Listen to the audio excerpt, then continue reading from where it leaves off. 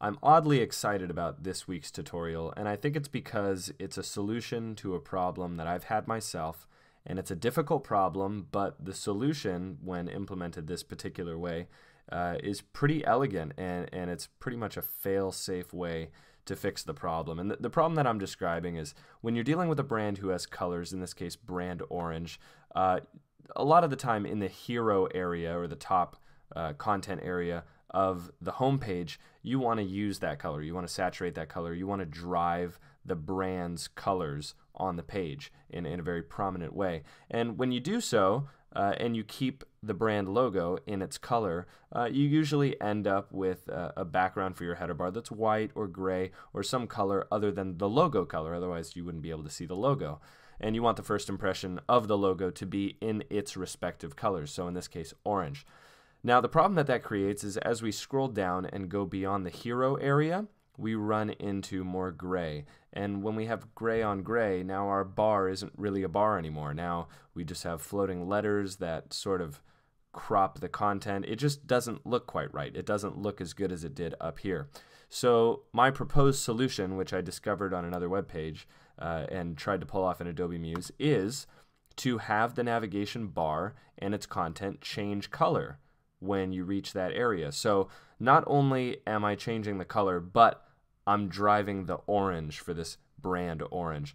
The logo and the navigation have changed to white from their original colors, uh, but I am driving the orange into the design uh, more prominently than if I just had the logo in the color. So it's an easy way out of the original problem. So I'm going to show you guys how I pulled this off in Adobe Muse and here's my finished page. Let's go to the work in progress. So what I have here at the top is I have a gray rectangle, and that gray rectangle, very light gray, practically white. And that light gray rectangle is 100% page width, meaning it's stretched all the way to the edge. And when I preview in the browser, you can see that it does go the full width of the page.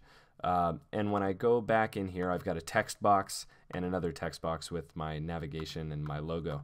Uh, now, if your logo is uh, a bitmap image, if it's if it's a graphic, uh, you will want the color version of the logo, and you'll want a white only version of the logo to do this. Uh, in my case, because it's text, I can change the color on the fly. Um, but if you are working with a graphic, then make sure you have both versions of that graphic. Um, if you're like me and you've just got a text box, then this next part is even easier for you. I'm going to select all three of these objects that make up my navigation. And uh, that's by holding the shift key on your keyboard when clicking each object, in case you're not familiar with that. And then I'm going to do a little trick where I hold the Alt or Option key and drag those elements down to duplicate them. Uh, now, the placement is arbitrary. I'm not trying to place these in any direct specific place. I'm, I'm just kind of making a second copy just to have it on the screen.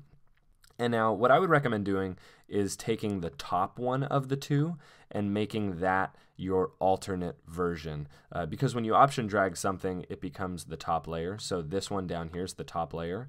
Um, and for what we're about to do, you want the top layer to be the regular version and you want the layer below it to be the uh, white and colored version. So uh, I'm going to go and use this top one here, which is the rear layer at this point. Uh, and that doesn't matter so much yet, but it will in a moment. Um, and I'm going to set my rectangle in the background to that orange color, which I just used this orange color here. And I'm going to click on my text box and pull up the text panel on the right hand side, and I'm going to switch my text to white and then I'm going to click my navigation text box and change that text to white as well. So now I've got my alternate version of that navigation. And now that I have that created, I can grab these elements that I have option drag down, and I'm just going to do a regular drag up to put these back into place. So now we've set the stage. We've created the regular version of the navigation on top of the alternate version, but we need the regular version to disappear to make the alternate version show up. And that has to happen at the right time on the page. So I'm going to scroll down and we need to figure out where the orange ends and where the gray begins. It looks like that's happening at about the 900 pixel mark on my ruler. Uh, everyone's will be different, but you're going to want to look and see at what mark on the ruler uh, this ends. Uh, if you want to be really, really precise, you can select uh, your colored block and you can go over to transform And by taking the y position of this box, which is 76, and adding the height of the box, you will get the exact, exact position. So in my case, it's probably, um, looks like it's 907 if I wanted to do the math, uh, but I'm not going to bother being that precise. You may, though, if you so choose. So now that I know I'm around 900 pixels, uh, I also need to take into account the height of this bar, which is about 80. So I'm going to do 900 minus 80, and that gives me 820. So it's at the 820 pixel mark on the page that I want this to change colors. So what I'm going to do is I'm going to go and select all three of these elements again. And I'm going to find my scroll effects panel on the right hand side. And I'm going to open up scroll effects. And the scroll effects are broken into four tabs, and you want to navigate to the second of those four tabs, which is the opacity tab. And you want to turn on opacity from the little check mark next to the word opacity. And now we need to decide what's going to happen to the opacity of these three objects. I want it to start at 100%, not at 0%. I want it to start visible. I want it to continue being visible until the key position. So I'm going to have 100, 100. It's going to stay at 100 up until the key position. Then it's going to drop to zero. So that way we can see the uh, alternate version of the navigation behind it. Uh, so I need to decide when these things happen. And the way you want to do that is you want to start by typing in uh, what happens at the first position, what happens at the second position, what happens at the third. Really, all that matters is that the second position, where it goes from 100, and the third position, where it finishes going to zero, are the right numbers. Uh, the first box really doesn't matter very much.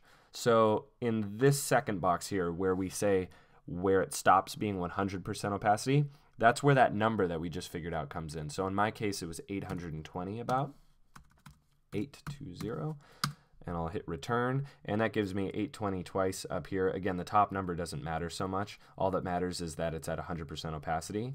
Uh, the middle number needs to be that key position that matched the position on your page where you go from the first section of content to the second section of content. Uh, and then the third number down here, the third key position, that is where it finishes going to 0%, which means uh, where your alternate uh, navigation finishes appearing as this navigation disappears. So the larger the difference between this number in the middle and this number at the bottom, the more gradually it'll fade in. I have about a 40 pixel gap here. I have exactly a 40 pixel gap here. So as the viewer scrolls 40 pixels, it goes from being this navigation to being the alternate navigation. Now, if I made this 960 pixels, uh, the, the viewer would have to scroll 140 pixels for that fade to take place. That fade would take place over 140 pixels, which I think is a bit too much. So I'm just going to stick with a 40 pixel gap, leave it at 860, and I'll preview this in the browser. And now as I scroll, there it goes. It starts to transition right here, and then it finishes transitioning right here. Uh, so as I scroll, if I scroll at a normal speed, it goes pretty quick. Uh, it, it's pretty sudden, which is cool. I mean, really, you don't need people to be sitting there and going like this, like I am right now. Um, but it is important that all of these navigation elements are pinned if you want them to stay at the top like mine. If you've never done a pinned navigation at the top, uh, just so you guys know, you select each of these navigation elements and uh, on the toolbar at the top you can pin them to top center. Uh, if you are thinking, why don't I just group these elements together? Uh, the problem with that is if you group these elements together, uh, when you preview it in the browser, you'll find that it's no longer 100% page width. Uh, I don't know why that is, but if you group elements, it does not allow you to make them 100% page width. So just a heads up, you have to shift click on these things and cannot group them together if you want it to be 100% page width. Um, if you guys are unfamiliar with some of the things that I talked about, you may want to reference some of my earlier tutorials about pinned navigation uh, or maybe even just some of the key position uh, tutorials or scroll motion tutorials. But if you guys are following me on this, I hope you're excited about it. I think it's a really great solution. And uh, if you have not subscribed already, please subscribe because I will have more stuff, as you guys probably know if you've watched a few of these. I will have more cool stuff coming soon.